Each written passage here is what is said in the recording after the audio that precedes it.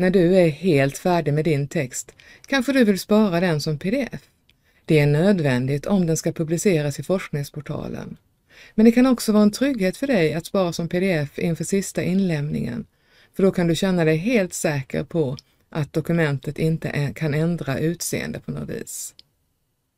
Om du jobbar i skrivbordsversionen av Word så väljer du Arkiv, Exportera, Skapa pdf XPS-dokument och Skapa pdf XPS. Du kommer att få välja vad det ska heta och var det ska ligga. Och när inställningarna är så att du är nöjd så klickar du på Publicera.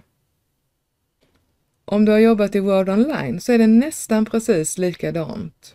Du börjar med att gå till Arkiv och sen väljer du Spara som och så väljer du Ladda ner som pdf. Och sen klickar du på knappen för att ladda ner.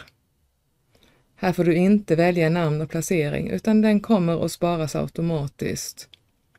Och man kan klicka här på den lilla mappen för att se var den har hamnat någonstans. Min hamnade i hämtade filer. Det blir bra det. Oavsett hur du gjorde, när exporten är klar så bör du hitta och öppna din sparade pdf.